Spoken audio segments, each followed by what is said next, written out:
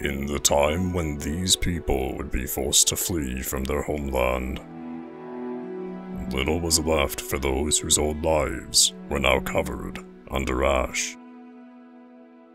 Although walking into a new era and out of the old, the future for the Dunmer of Morrowind would at first seem unclear.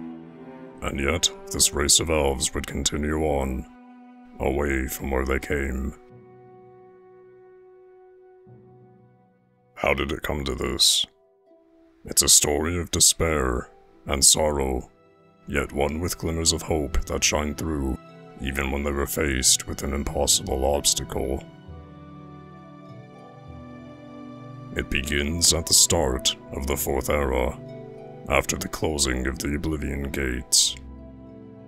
Secured now from the forces of the Daedra, Nirn was missing something. Vivec. He had disappeared at some point, and nobody truly knows what happened to him.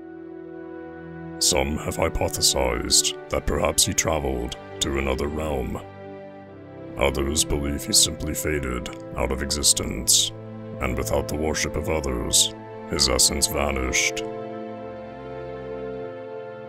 Wherever he might have gone, it was clear at this point that his effects on this world were waning.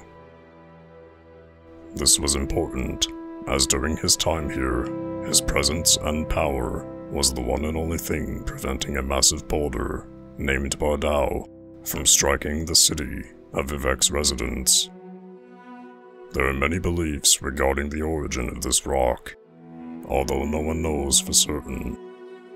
Many believe that the god of madness, Sheogorath, sought to have some fun, and whether through spite of Vivec, hatred of the Dunmer and their city, or outright madness on its own, felt the need to hurl the rock downwards from the sky.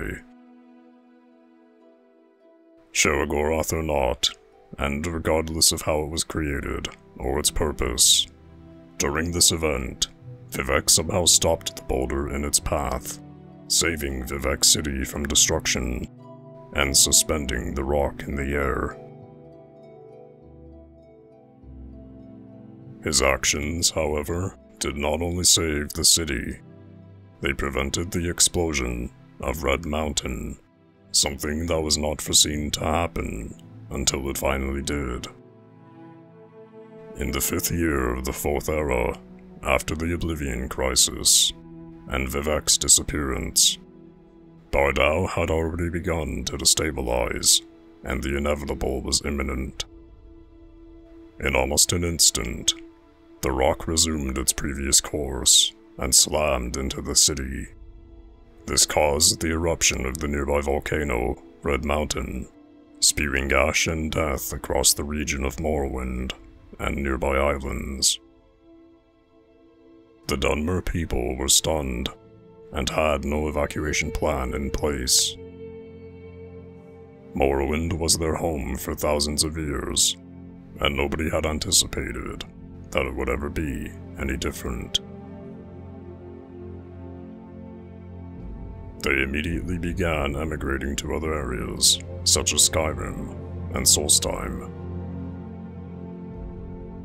These events would later be referred to as the Red Year, a time of suffering and consequence for the Dunmer people. Even two centuries later, we can find history of their struggles. When traveling to the northeastern corner of Skyrim, near the border of Morrowind, we find a tower named the Refugee's Rest. Near the tower sits a book. The book, titled Decree of Monument, describes the tower as a memorial to this place where the Dunmer once met to find their lost loved ones, and to leave notes for those who could not be found.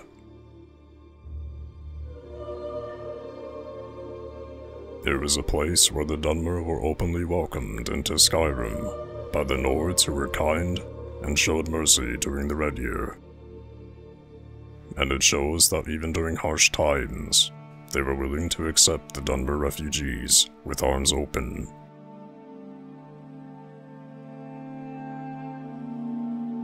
Even on the island of Solstheim, where many Dunmer fled to, we can find ash covering the ground, still constantly falling from the sky, even so far away from the volcano, which has continued to erupt for the past 200 years.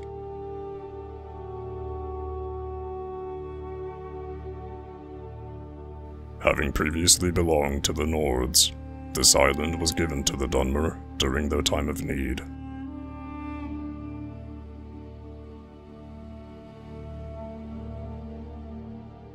In the books on the Red Year, written by Melis Ravel, he says he felt the need to seek out first-hand accounts of the Red Year by traveling to Morrowind itself and interviewing the locals, rather than simply studying the subject at the College of Winterhold.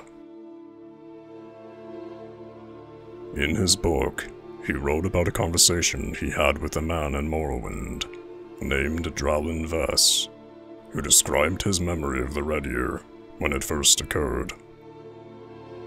The man lived all the way in southern Morrowind, near Blackmarsh, and even there felt the effects of the eruption. He claimed the ground rumbled and shook, and water seeped up through cracks in the ground. He ran to the nearest city out of desperation, seeking shelter in a place that offered none, as the city itself was falling apart due to the eruption. The walls cracked and fell as homes crumbled. As some citizens screamed and were drowning to the water, something miraculous happened. People from every class of society started helping each other the poor farmers and rich alike helped to save others, tearing rubble off of bodies and dragging those drowning out of the water. Hundreds managed to survive on this day thanks to the cooperation of the Dunmer people. This was only one of the stories Melis recorded in his books, and there are countless others like it that can still be found today. Through the tragedy of the Red Year, a bond developed between the Dunmer, a strength they held together, empowered by the memory and the losses they all shared. A bond that would endure for years to come, even now as they're oppressed in other lands. During Skyrim, we find that over the years, the Dunmer have done their best to integrate into the Nordic society However, due to recent political unrest and a civil war, the locals have begun frustratedly pinning the blame on the first vulnerable group they can find. In Windhelm specifically, we find that the Dunmer make up a substantial population of the city. It's not all good news, however, as most of the Dunmer here live in one section of the city, called the Grey Quarter segregated from the rest for debatable reasons. Throughout the city, the Dunmer are despised by the Nords, whose ancestors once welcomed them graciously into their snowy kingdom. This animosity goes both ways, however, as we can see in our conversation with Ambarys Rendar, a Dunmer who lives in the Grey Quarter in Windhelm. Things have been a lot worse around here since Ulfric took over. Why are there so many Dark Elves here? Where else would we be?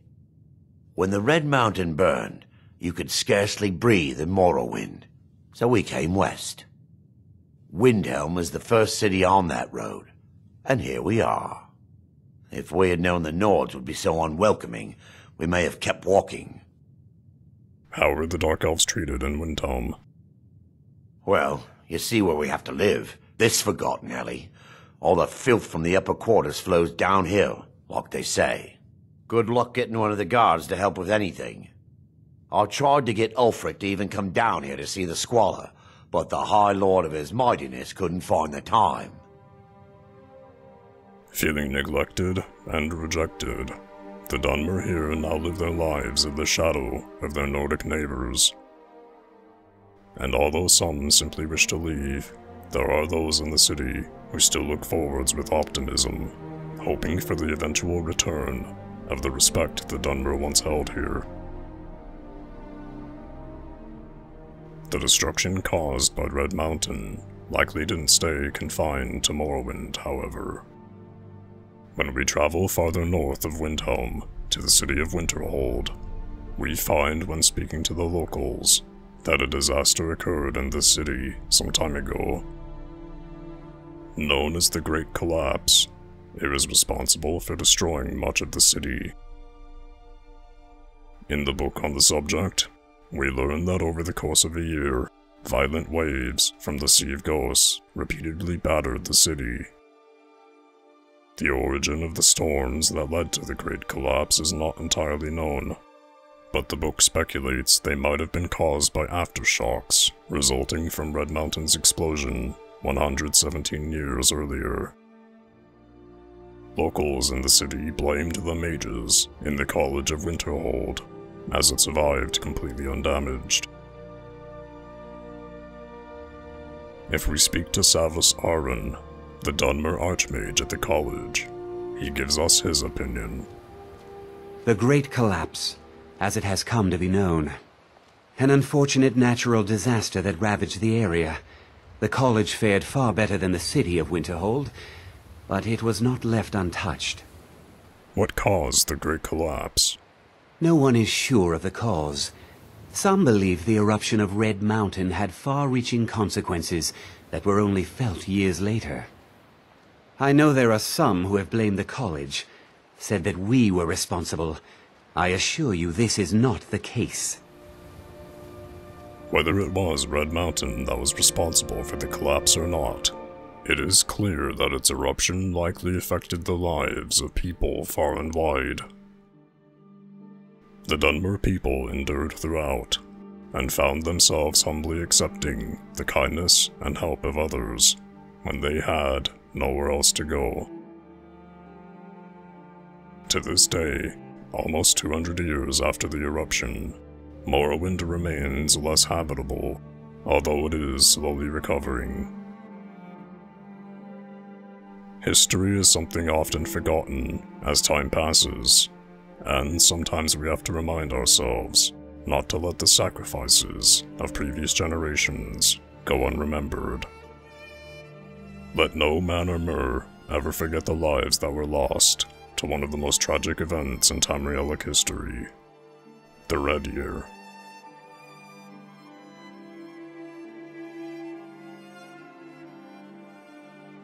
Thank you very much for watching. My name's Koo, and I'll see you in the next video.